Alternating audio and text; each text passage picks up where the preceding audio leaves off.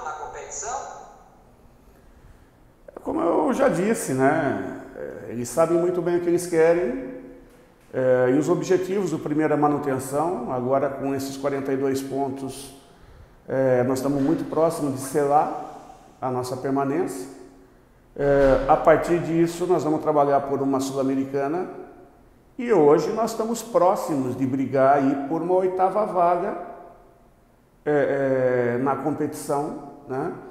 Haja vista que o Santos, que é o oitavo colocado no momento, tem 45, se eu não estiver errado.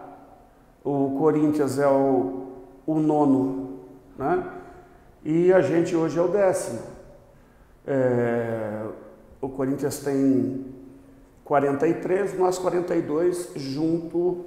É, é, não, nós 42. E aí com 41 o Bragantino. Então, caso o Palmeiras vença é, o, a Libertadores, né? aí fatalmente o G6 vai para G8 e o oitavo colocado entraria na pré-Libertadores. Hoje nós estamos próximo disso, né? É, só que o nosso objetivo primeiro é manutenção, depois é sul-americana. Pensar é, nessa pré-Libertadores é lá na frente. É, é, depois de sacramentar os objetivos, aí que nós vamos ver se nós vamos ter condições de estar tá buscando. Né? Eu acho que o comprometimento direciona isso, é, direciona a atingir os objetivos. Uma competição internacional é o mais importante.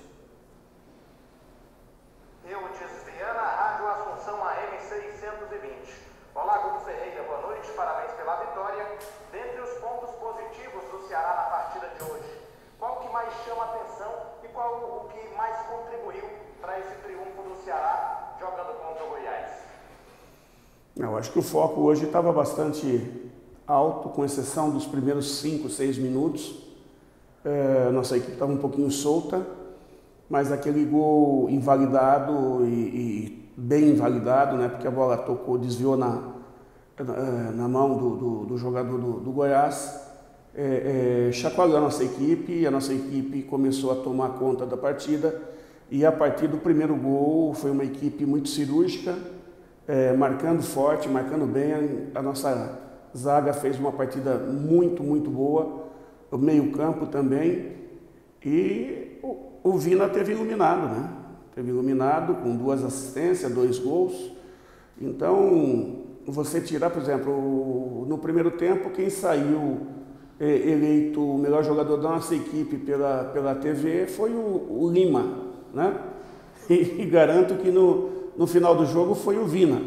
Então, e poderia ter eleito o, o Sobral, poderia ter eleito o Fabinho, poderia ter eleito os dois zagueiros, enfim, nossa equipe fez uma grande partida, né, no geral, e a gente está bem feliz com isso.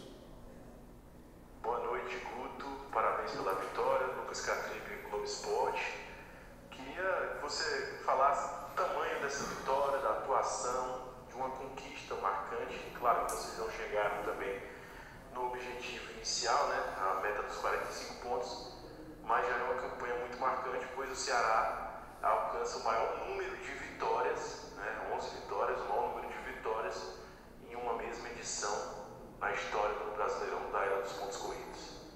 Ah, feliz, feliz por isso, né? Eu, eu é, desconhecia essa informação, né? Fico feliz, eu acho que o grupo todo fica feliz de saber. Mas nós não podemos parar aqui, nós temos que buscar mais. O compromisso nosso é atingir uma competição internacional. Né? Então, nós temos que trabalhar para isso. É, eu acho que nós estamos próximos de conseguir, faltam sete jogos, jogos difíceis, e nós temos que fazer partidas como nós fizemos hoje, com um nível de concentração alto e a equipe muito cirúrgica, muito assertiva, né? é, é, trabalhando muito bem defensivamente e sendo muito agressiva no aspecto ofensivo.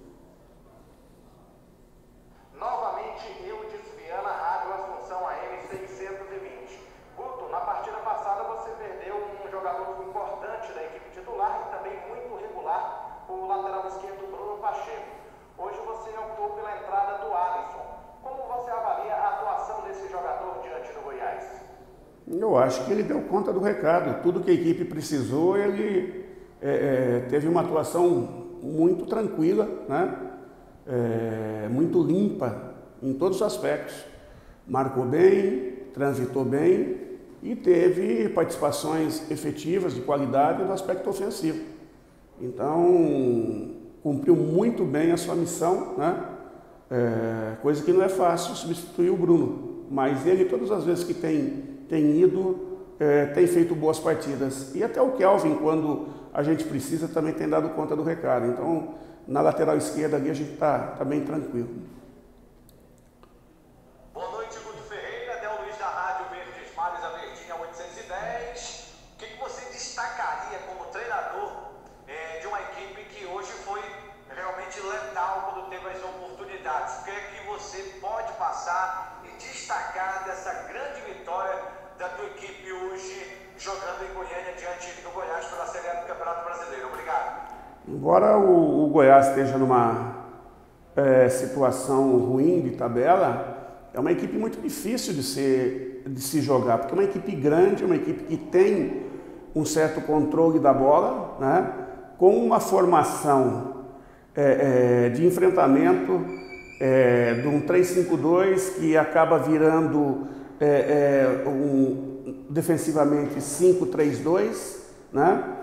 E nós tivemos a felicidade de é, é, conseguir, no primeiro tempo, bem dizer, no início, acredito que na, na, quase no meio do primeiro tempo, uma transição muito rápida, num setor que a gente já tinha pontuado, que eles têm uma certa dificuldade, e o Vina deu uma grande assistência para o Lima, que é, colocou uma categoria tremenda, né? A bola desviou, é, mas a colocação do Lima foi, foi muito, muito certeira, muito assertiva. Isso trouxe tranquilidade, né? Trouxe tranquilidade, a defesa cresceu, o meio cresceu e a equipe foi, é, como você disse, né? É, foi muito letal, né? Foi muito objetiva e letal, criando as oportunidades e matando. A gente fica muito feliz com, com esse comportamento. Mais uma vez, Del Luiz da Rádio Verdes Mares, 810, a Verdinha, Guto Ferreira. O que falar para os teus jogadores agora para o próximo jogo? Em casa, diante do Palmeiras, onde o Ceará não consegue vencer há algumas partidas, mas fora de casa vem fazendo um campeonato realmente de G4 até da competição brasileira. Como colocar na cabeça dos teus jogadores a importância de voltar a vencer em casa como mandante? Obrigado. É, o detalhe de vencer em casa como andante, né? Nós vencemos o clássico, mas a gente era visitante. Mas nós temos que voltar a vencer no, no, no Castelão, nós temos que nos impor e, e retomar para nós, né? É, é, fazer valer o mando de campo nosso, né? É, nos impor dentro da nossa casa. Isso aí é um trabalho de mental para a gente fazer com, com os jogadores e, e buscar. Um jogo bastante difícil, né? contra o Palmeiras. É, nós já tivemos três partidas contra o Palmeiras esse ano, tivemos duas é, derrotas e um empate. E vamos trabalhar para que a gente possa fazer uma grande partida e buscar três pontos.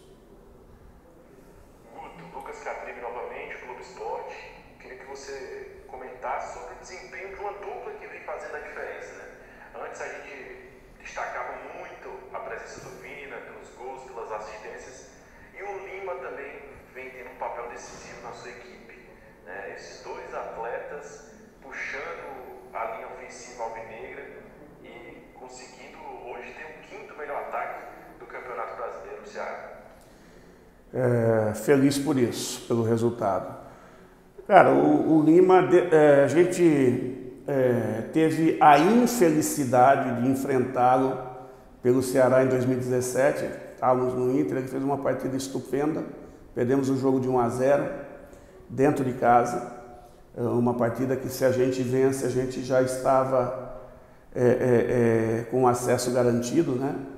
E talvez tenha sido a partida que impulsionou o Ceará ao acesso. Depois disso, desse grande campeonato que ele fez, ele teve dificuldades, saiu, não conseguiu jogar, só que a gente sempre soube do potencial. E logo que chegamos, nós tivemos um, um papo bem legal com ele, mostrando para ele, na nossa opinião, é, é, que a gente confiava nele, mas que principalmente ele tinha que nos ouvir no, no aspecto de construção é, é do corpo dele, de, de retomar é, é, a parte física dele que havia perdido, que ele estava indo para clubes sem ter feito pré-temporada, chegando atrasado, enfim. E isso estava perdendo muito, porque chegava no clube não jogava, perdia lastro. E essa pandemia, junto com o trabalho feito, fez com que ele fosse crescendo. Você vê que no primeiro momento, no primeiro turno, ele entrava, ele oscilava uma partida boa, uma partida ruim, é, uma partida que ele fazia, por exemplo, 60 minutos muito bons e depois é, caía um pouco de produção. E para nossa felicidade, o segundo turno dele foi meteórico e ele vem jogo a jogo crescendo e, e, e fazendo grandes partidas, fazendo gols importantes, né? em associações com, com o Vina, com o Kleber, é, com o Chu, é, que são os quatro mais agressivos, e, e todos no meio campo lá. Né? E isso a gente fica muito feliz, porque foi um plano traçado que hoje a gente vê o Lima, que plantou muito até aqui, começando a colher tudo isso. Olá, Guto Ferreira, Evaldo Alisson da Rádio Vozão, no site oficial do clube. Guto, primeiramente, parabéns pela bela vitória, né? também parabenizar todo o elenco pelo empenho e dedicação. Uma vitória maiúscula, mais uma fora de casa. Guto, será ele teve um início né, onde o Goiás foi muito forte para cima, com intensidade. O Ceará conseguiu suportar essa intensidade logo no primeiro ataque, na primeira chance clara, conseguiu fazer o gol. O que foi conversado, o que foi ajustado na equipe para que ela crescesse tanto na partida e, a partir dali, a partir dos 10 minutos do primeiro tempo, dominasse toda a partida e saísse com a vitória muito boa que foi a de hoje.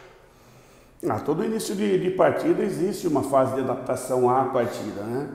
É, e o modelo de jogo do, do, do Goiás é um modelo diferente das outras equipes.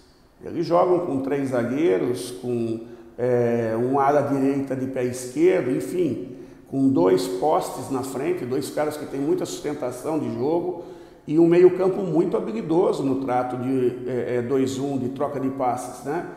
Tem uma qualidade de, de passes longos bastante efetivos, né? E, e, quando eles fecham, eles, se eles conseguem fazer um gol, depois para você entrar neles é muito difícil. Porque eles fecham com linha de 5, é, 3 e 2, ou às vezes até 5, 4 e 1. Né? E as partidas que eles venceram geralmente é 1 a 0, 2 a 1 e tudo nessa circunstância. Então a gente teve a felicidade de fazer aquele primeiro gol, eles vieram com tudo, nós sustentamos e aquele gol no apagar das luzes do primeiro tempo foi fantástico para a gente poder entrar mais tranquilo e aí no segundo tempo é, a equipe foi muito bem, fez o gol é, através do pênalti, ainda acho que antes dos 15 minutos, se eu não estiver errado. Aí o jogo foi é, é, é sendo direcionado para é, é, para o que foi, né? os 4 a 0. Fico feliz com, com a atuação. Eu acho que isso é reflexo do, do, do, do mental da equipe, do comportamento de, de foco, né? do saber suportar o adversário dentro das estratégias montadas e saber explorar aquilo que foi pontuado do, dos adversários. Né? É, nós tivemos aí pelo menos é, dois gols que foram construídos em, em situações que a gente tinha é, taticamente pontuado para eles e é muito legal quando você é, traça o objetivo, você mostra e eles conseguem desenvolver em cima disso.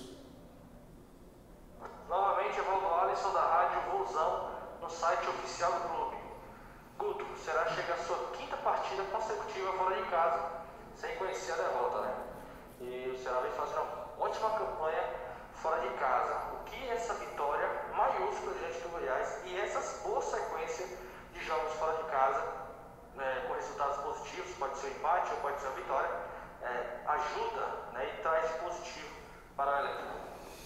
Eu acho que traz uma situação de, de, de tranquilidade, entre aspas, né?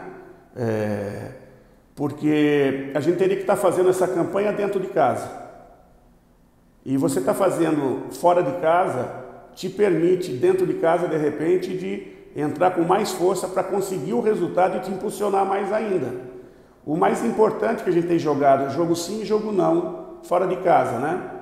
E nesse jogo sim, jogo não, a gente tem somado pontos, na maioria das vezes, acho que a gente fez sequência de, de três vitórias, talvez. Hã? Não, Flamengo. Não, de fora? Fora de casa. É. Bahia, Flamengo aqui. É. Então, Vasco, Bahia, Flamengo aqui, né? Então, o empate em Santos. Então, isso aí é, é, faz com que a equipe esteja sempre pontuando. E a equipe que pontua não corre, pontua em todas as rodadas, dificilmente corre na rabeira da tabela.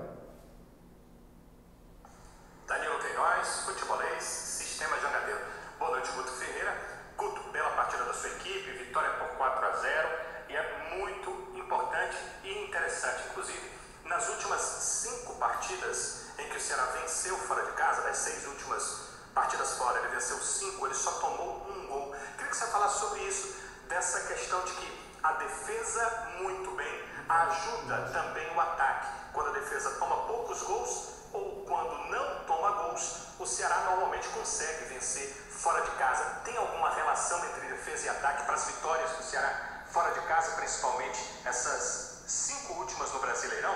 Obrigado, Guto.